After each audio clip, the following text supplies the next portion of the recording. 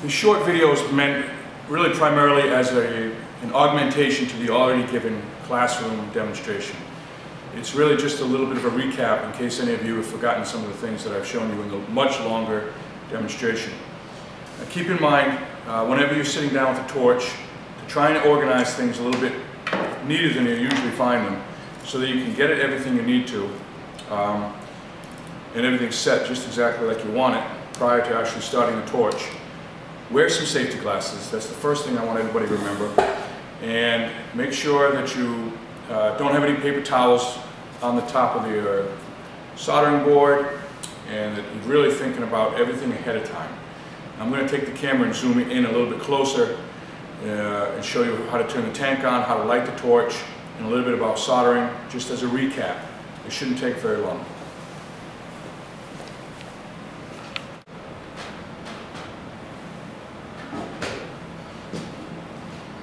What I'm going to do here is give a quick demonstration of the actual soldering process. I already have a ring that's roughly made but it has a nice clean joint. I've sawn through it a couple of times.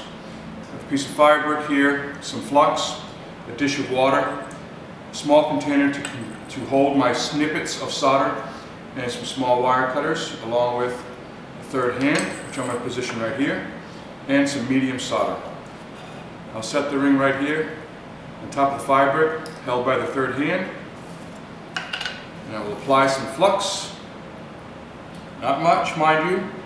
Flux is uh, going to be something that you can control the amount of solder flow with. It'll, the solder will only flow with this flux.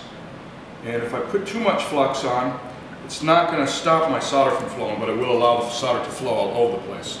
So I want to be careful. Now I have a little bit of flux still stuck on the tip of my soldering pick.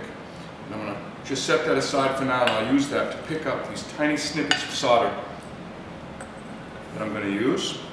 I have the wire cutters with the little box of the wire cutter facing down into this little dish. And I will cut some very, very short snippets of solder. I only need two, probably, but I cut a few more because I tend to lose them. They're so small. Now I'll take my soldering pick these, these guys are very, very little. You don't need much. And if you don't use much, you don't have to clean much. Okay, now I'll just turn my tank on an eighth of a turn. Here's my, here's my torch. I just had to grab a striker. Notice I turn the valve very, very little to get some gas out of this. And I check my striker prior lighting the torch, make sure it works. Slight twist of the valve and just strike it right in front. Now I want to adjust this flame so that it's got a nice sound, like a little jet engine sound to it. I want a nice, beautiful little blue cone coming out, and keep in mind the tip of that blue cone is the hottest. I'll move my dish out of the way. I'm going to come at this flame, at this ring, at the joint of the ring, at a perpendicular angle, so that I can get both sides equally heated. I'm going to dry it out first with the torch way back here, and then I, I can use my pick to push the solder snippets around to keep them right on the seam. Once the flux has stopped bubbling, and I've got this solder exactly where I want it, which I've got to adjust it right now,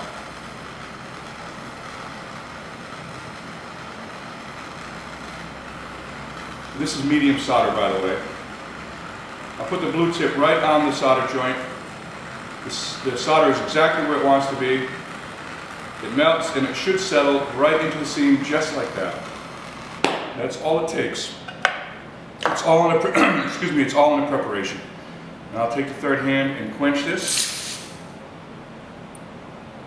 And that ring is ready to go into the pickle for at least five minutes. Then I'll dry it after I wash it, of course. I'll wash it, rinse it after the pickle, dry it, and then put it on a ring mandrel and hammer it with a rawhide mallet to get it perfectly round.